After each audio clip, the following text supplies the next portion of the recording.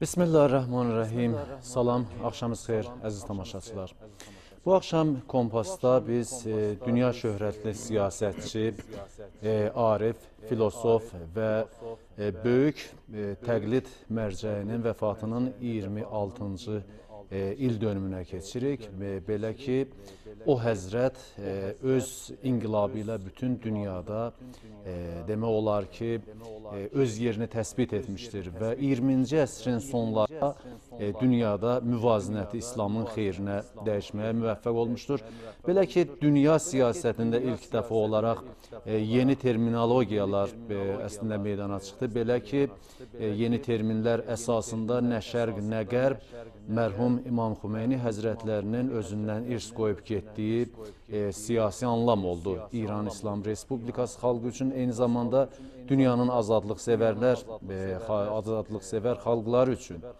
E, indi o şəxsiyyətin e, e, vəfatından 26 il keçsə də hələ də o həzrətin e, saçdığı e, nur insanların yolunu işıqlandırır, insanları hidayət edir və xüsusilə də ki, o həzrətin başlatdığı İslam inqilabı e, bu gün də e, müsəlman və qeyri-müsəlman xalqların oyanışına e, təkan vermişdir. Baxmayaraq ki, bu yolu əngəlləyən qüvvələr var, e, bununla belə İmami Həzrətlərinin o əbədi yolu əbədi yaşayacaq. Əməkdaşlarımın hazırladığı video materialı birlikdə izləyək.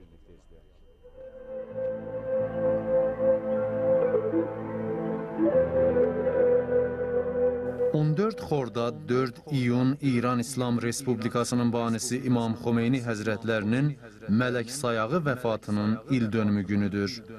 İmam Xomeyni rəhmətullah əleyhin aşiqləri və o həzrətin davamçıları bu münasibətlə İran və dünyanın hər bir yerində elə bir dahi şəxsiyyətin yad və xatirəsini əziz saxlayırlar ki, zülm və zorakılıq quruluşu qarşısındakı mübarizə və müqavimətlə dolu olan bütün həyatı boyu İslami oyanış istiqamətində İran xalqının taleyi həm də dünyanın bütün ədalətsevər və məzlum xalqlarının aydın gələcəyini müəyyən etdi və xalqlara müjdə verdi.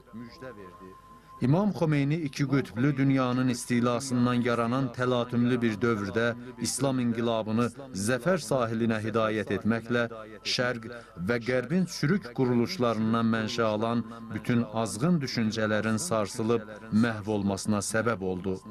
Həmçinin siyasi hasarlar və beynəlxalq qüdrətlərin bölgülərini darmadağın edərək 21-ci əsrdə xalqların önə doğru hərəkətlərinə zəmin yaratdı, inqilabçı hərəkətlərə möhkəm arxa oldu. Həqiqətdə İmam Xomeyni dünyanın məzlum xalqlarının ədalətsevərlik istəklərsən, həmçinin İslami və insani dəyərlərin bünövrə olaraq qəbul edilməsi ilə siyasi və ictimai potensiallardan mənşə alan müvəffəq bir nümunəni dünyaya təqdim etdi. Bu nümunə isə 20-ci əsrdə dünyaya hakim kəsilən parametrlərdə böyük bir dəyişiklik və inqilab yaratdı. İmam Xomeyni Həzrətləri müsəlman xalqların qüdrətləri və qabiliyyətləri haqda həqiqi tanışlıq əldə edərək daim bu məsələyə təkid etmişdilər ki, xalqlar özlərinin həqiqi potensialları və qüdrətlərindən istifadə etməklə özlərinin müqəddəratları və taleylərini dəyişdirə bilərlər.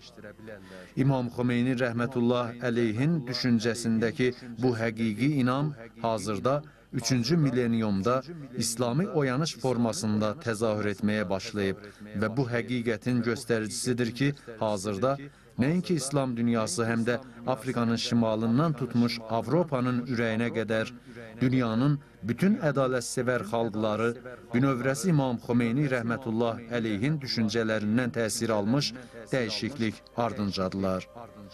Dünya inqilabları üzrə bir çox tanınmış ekspertlər və nəzəriyyəçilər bu həqiqət barədə ortaq məxrəcə gəliblər ki, İmam Xomeyninin siyasi baxışları dərin düşüncə ilə yanaşıdır ki, bu da xalqların inqilabçı və oyanış hərəkatlarının davamında misilsiz rola malik olub.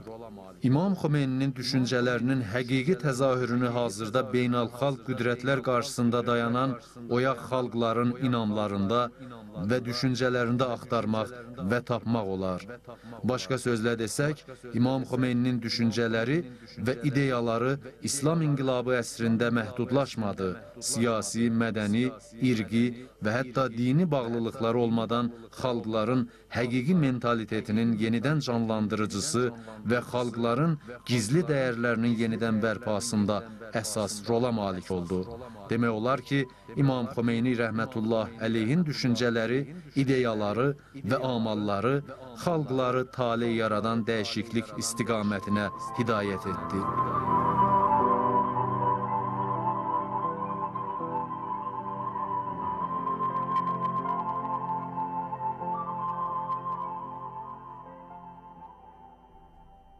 Bəli, əlbəttə ki, belə bir e, dahi e, şəxsiyyəti itirmək e, hər bir insan, hər bir müsəlman və hər bir azadlıq sevər e, şəxs üçün böyük itki hesab olunur və bununla belə o həzrətin özündən irs qoyub getdiyi e, siyasi xətt və yol xəritəsi bu gün də bütün e, dünya xalqlarının, dünya müsəlmanlarının üzünə işıq saçmaqdadır. Studiyamızın qonağını təqdim etmək istərdim. E, Türkiyə Cümhuriyyətindən Tehrana təşrif buyurmuş və İmam Xomeyni Həzrətlərinin vəfatının il dönümü mərasimində iştirak edən hörmətli e, ruhani cənab Mehdi Aksudur. Xoş gəlmisiniz. Hoş bulduk Ruhani Bey. E, Çox sağ olun cənab Aksu. Oradan başlayaq ki, e, İmam Xomeyni Həzrətlərini demək olar ki, dünyada e, elə bir e, şəxs yoxdur ki, tanımasın, yəni daha doğrusu e, şəxsiyyətlər sırasında e, birincilərdən hesab olunur İmam Xomeyni Həzrətləri. E, Siz e, İmam Xomeyni adı ilə birinci dəfə nə zaman tanış oldunuz?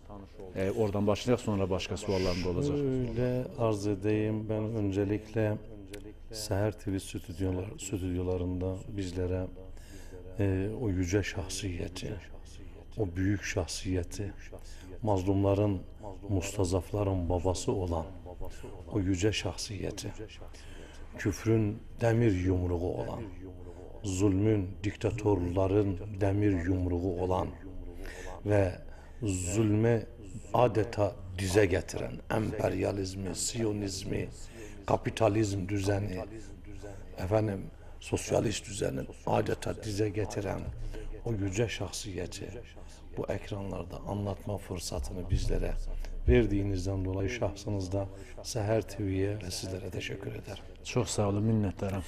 İmam Hümeyni rahmetullah teala aleyhle bizim tanışmamız çocukluk yıllarımıza döner.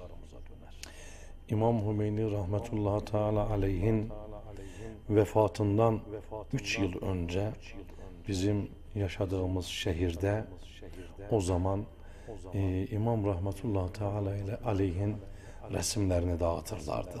Bazı imamı seven, imama aşık olan alimler, gençler, imamın resimleri ilk defa bizim tanışmamız imamın resimleriyle olmuştur. İmamı bizlere çocukluk yıllarımızda anlatan, imama aşık olan kesimlerin ağzıyla imamı tanımışız. İmamın e, vefat ettiği yıl 1989 yılında e, öğrencilik yıllarımıza başladık Kum İlimler Havzası'nda. Öğrencilik yıllarımızın 5. ayında İmam Allah'ın rahmetine kavuştu. Bizim imamla kısaca e, aşina olmamız, tanışmamız çocukluk yıl- yıllarımıza dönüyor. Ancak e, ben bugünler önemli günler. E, İran takviminde Nemi Kurdat dediğimiz İmam Rahmetullah Teala aleyhin inkılabının tamamen temellerinin sağlam bir şekilde atıldığı günler aynı zamanda Nime-i Şaban. Bu iki münasebet arasında çok önemli e, benzerlikler ve çok önemli ilişkiler var. Nime-i Kurdat, Nime-i Şaban. Yani Allahu Azze ve Celle adeta Nime-i Kurdat, Nime-i Şaban mukadderatında bizlere şunun mesajını veriyor. Nime-i Şaban'ın beklenilen Fatıma'nın e, Mehdisinin kuracağı evrensel cihan şumul Mehdevi hükümet temelleri, basamakları Neyme-i Hurdat'ta İmam Hümeyni rahmetullahi teala aleyh ile atılıyor. Aydındır. Arada böyle bir münasebet var. Neyme-i Hurdat ve Neyme-i Şaban. İndi Türkiyəyə gəlincə, e, üzr istəyirəm sözünüzü kəsdim. E, yeni e, Türklər arasında İmam Xomeyni həzrətlərinə böyük sevgi var. Bu sizcə o həzrətin 1963-cü ildə İrandan sürgün edilərkən Bursa şəhərində yaşaması ilə bağlıdırmı, yoxsa Türklər İmam Xomeyni həzrətlərinin düşüncələrini əks etdikdən sonra o həzrətin vurğunu oldular? Bakın ben Ruhani Bey, Nurani. Nurani Bey özellikle şuna arz edeyim Nurani kardeşim. Ee, bütün insanların fıtratında adalet özlemi vardır. Bütün insanların doğası ve fıtratında zulme bir başkaldırı vardır. Bütün insanlar mazlumdan yana olmayı sever. Yani insanların doğasına baktığımız zaman gayrimüslim insanlarda bile fıtratı bozulmayan insanlar zulmü ve zalimi sevmiyorlar. Mazlumdan yana olmayı, mazlumdan taraf olmayı yeğliyorlar. Dolayısıyla Türkiye'deki Müslümanlara baktığımız zaman Türkiye'deki Müslümanlar İmam Hümeyni rahmetullahi teala aleyhte neyi gördüler? Mazlumların hamiliğini gördüler ezilenlerin hamiliğini gördüler. Baktılar bir din adamı dünya namına, bakın dünya namına maddi olarak hiçbir şeyi yok. Aynen teşbihte tartışma olmaz. Nasıl o günün Firavun'u, o günün Hazreti Musa'sına şunu diyordu. Sen neyine güveniyorsun? Senin elinde sadece kuru bir ağaç var. Bu ağaçla benim askerime, benim devletime, benim bu kadar şanlı, şöhretli imparatorluğuma sen nasıl baş kaldırabilirsin? Neyine güveniyorsun? Melun Firavun bilmiyordu ki Musa Rabbine güveniyor. Teşbihte tartışma olmaz. Dünya emperyalizmi, Siyonizmi, özellikle Amerika emperyalizmi onun kuklası olan Şah İmam Rahmetullah Teala aleyhe sen adeta Firavun gibi neyine güveniyorsun dediği zaman İmam Hümeyni Rahmetullah Teala aleyh ameliyle, yaşantısıyla Şah Mel'un'un şahsında, adında bütün dünya diktatörlerine şunu buyuruyordu. Ben Allah'ıma güveniyorum. Ben Rabbime E, güveniyorum. İndi İmam Xomeyni həzrətlərinin e, şəxsiyyətində biz müxtəlif e, e, xüsusiyyətlərin şahidiyik. Yəni o həzrət e, e, görkəmli dövlət xadimi olmaqla yanaşı, yəni siyasətçi olub, sonra e, arif olub və e, əslində böyük di- dinşünas alim olmuşdur və hətta vilayət fəqih nəzəriyyəsinin əsasını qoyan da İmam Xomeyni həzrətləri olmuşdur. Yəni və e, yəni belə bir e, samballı, belə bir e, yəni əhatəli şəxsiyyətin hansı xüsusiyyətləri e, sizcə dünya müsəlmanları üçün cəlb edicidir? Bakın şunu arz edeyim. İmam Rahmetullah Teala aleyh 14 asırlık İslam tarihi evresi içerisinde Emevi hanedanı, sonrasında Abbasi hanedanı ve sonrasında diğer hanedanlıklarla İslam coğrafyasına hakim olan siyasi bir yapıyı yapıyı alt üst etmiştir. Çünkü Müslümanların genlerine, Müslümanların ruhlarına hakim olan algı ne idi? Din siyasetten ayrıdır. Din adamı da siyasetten ayrı olmalıdır. Müslüman gitsin namazını kılsın. Müslüman Yəni İmam Xomeyni həzrətləri bu tabunu qırdı. bu tabuyu kırdı. İmam Hümeyni Hazretleri İslam'ın her alanda yaşanılabilir bir din, her alanda sözü olan bir din, her alana hakim olabilecek hayat dini olduğunu İmam Hümeyni inkılabıyla bütün dünyaya özelde bütün İslam alemine gösterdi. İmam Hümeyni'yi zaten farklı kılan sebep, sebep önemli sebeplerden birisi de bu.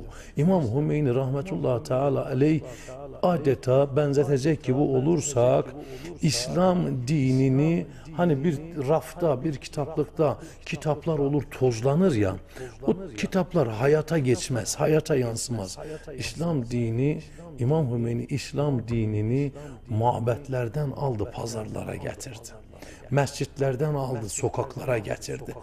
E, mescitlerden aldı, devlet idare sisteminin içerisine yerleştirdi. Ve şunu gösterdi ki İslam dini hayatın her evresine hakim olan bir dindir ve din siyasetin özüdür. Siyaset de dinin özüdür. Bunlar birbirinden ayrı gayrı değildirler. Bunu emelde ispat Bunu eder. ameliyle ispat etti.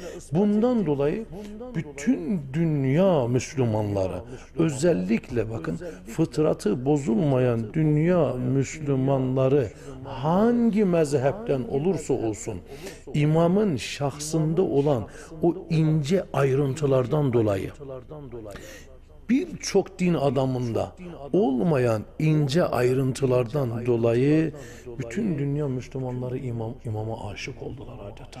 Ben Türkiye'den bir örnek vereyim. Bakınız e, bazıları belki benim bu sözümü abartılı bulabilirler. Hayır, vakanın özüdür. Allahu Teala Kur'an-ı Kerim'i insanlara neden göndermiş?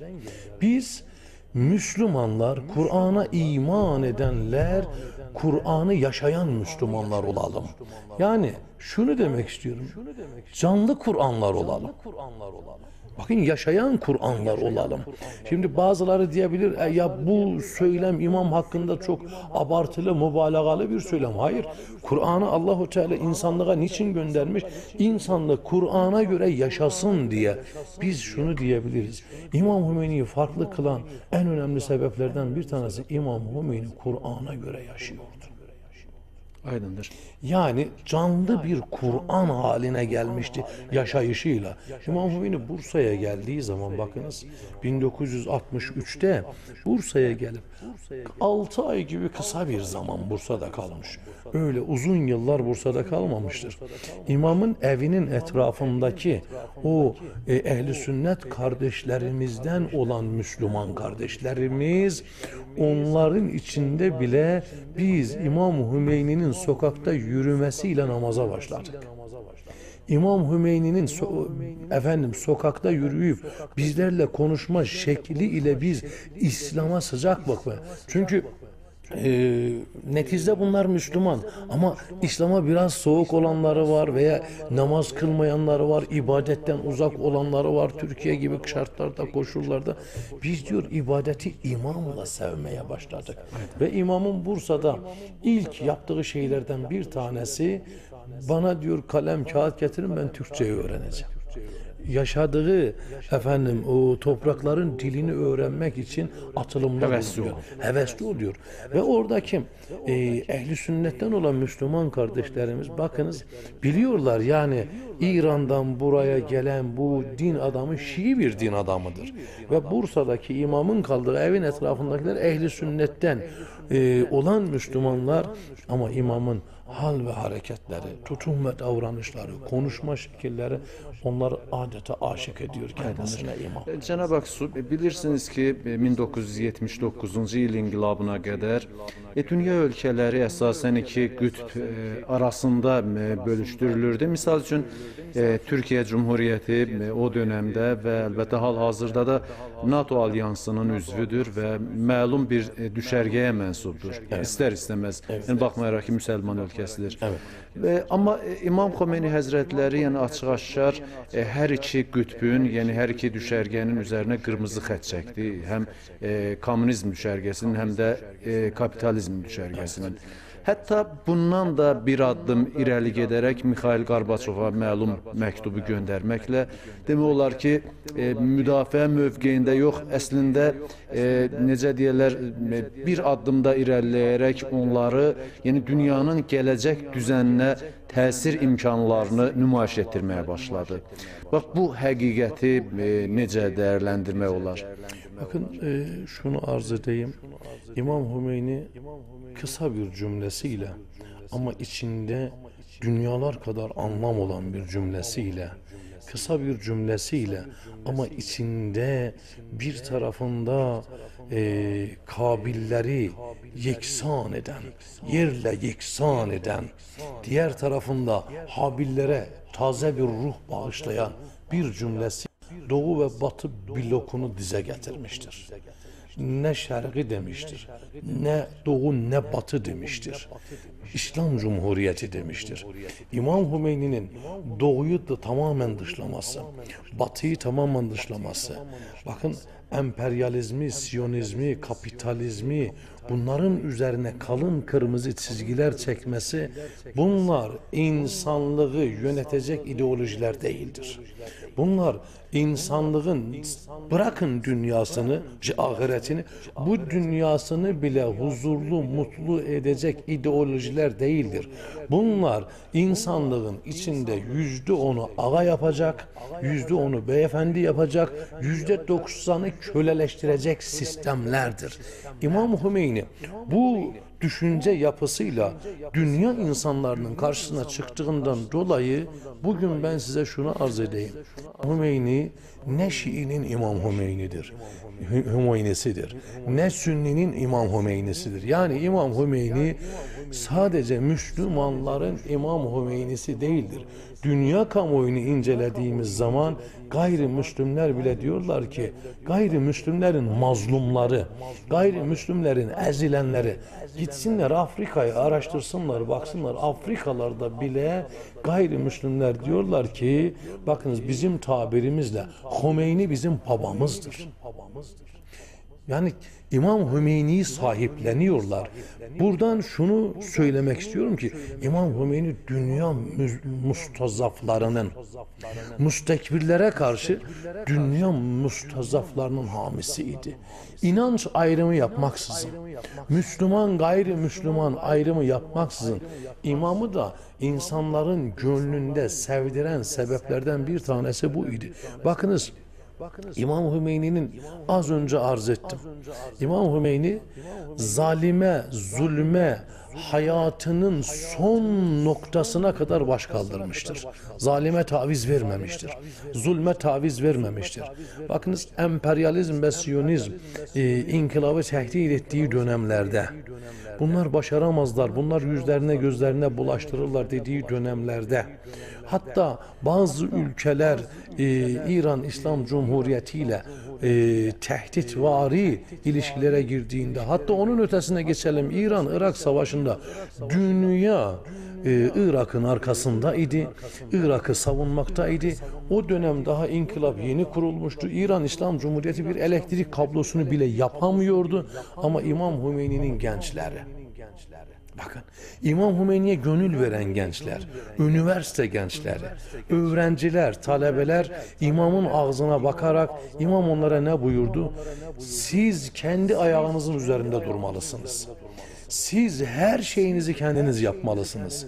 Siz batıdan bağımsız olmalısınız. Ve bu tefekkür diğer halklara da ilham yansıdı. Şu anda ona gelmek istiyorum. Bakınız imamın bu sözünden dolayı bugün e, imamın yerinde bıraktığı canlı şehit İmam-ı Hamenei'ye Allah ömrünü uzun etsin. Baktığımız zaman İmam rahmetullahi teala aleyhin hattında dost doğru eğilmeden, büzülmeden, bükülmeden, emperyalizme, siyonizme zerre kadar taviz vermeden yürüyen, ilerleyen makam-ı muazzam rehberi İmam-ı Hamenei var. Ve bugünkü öğrencilerde İran'ı ve İran'ın dışındaki Bakın mazlumlardan yana olan insanlar bu çizgide olan ve bu çizginin irşatlarına bakarak hareket edip o yapılan hareketin sonuna baktığımız zaman İran İslam Cumhuriyeti'nin bilim adamları 2000-3000 kilometre menzillik füzeler yapmışlar. Tanklarını kendileri yapıyorlar. İran-Irak savaşında bir elektrik kablolarını yapamıyorlardı. Bugün 2000-3000 kilometrelik füzeler yapıyorlar. Tanklarını kendileri yapıyorlar. Uçaklarını kendileri yapıyorlar. Uzaya uydu gönderiyorlar. Nanoteknolojide, nükleer enerji, enerji santrallarında bu kadar keşifler yapmışlar ve ilerlemeler yapmışlar. Bu işin bu boyutu. İşin diğer boyutuna bakıyoruz. Bugün Libya'daki halk hareketleri, Yemen'deki halk hareketleri, bakınız. Mısır'daki halk hareketleri, Bahreyn'deki halk hareketleri. Bu halk hareketlerinin tamamı İmam Rahmetullahi Teala aleyhin hus Hüseyini inkılabından ruh almıştır. Ama emperyalizm burada Şiə Sünni məsələsi meselesi yoxdur. değil. Emperyalizm ne yaptı? Baktılar ki Hüseyini inkılaptan ruh alan Hümeyni inkılap rahmetullahi teala aleyh Hümeyni inkılap bölgeye ve böylelikle dünyaya her geçen gün yayılmaktadır. bunun qarşısını almaq lazımdır. Bunu engellemek lazım. Nasıl engelleyeceğiz? Gittiler gayrimeşru bir çocuk. Gayrimeşru bir çocuğu getirdiler. Selefiler dediklerimiz, Vahabiler dediklerimiz ki bunlar Ve zerre kadar, zerre kadar biz Şii dünyası ehli sünnet canlarımızla, kardeşlerimizle konuşurlarken diyoruz ki bunlar ehli sünnet değildirler. Ne yaptılar bunlar? Bu Vahabileri getirdiler. DAEŞ'i, IŞİD'i getirdiler. Və buna bənzər Amaç terror nedir? təşkilatları. Bölgede, bölgede Sünni, Şii mezhep çatışması sağ olun, çıkarmak. Verilişimiz sona çatdı. Çox sağ olun. Əziz dostlar, bir daha xatırlatmalıyam ki, Türkiyədən olan hörmətli qonağımız e, Mehdi Aksu bizim e, qonağımız oldu Kompas proqramında. E, İmam Xomeyni Həzrətlərinin vəfatının il dönümü münasibətilə hamınıza başsağlığı veririk. Sağ olun, gecəniz xeyrə qalsın.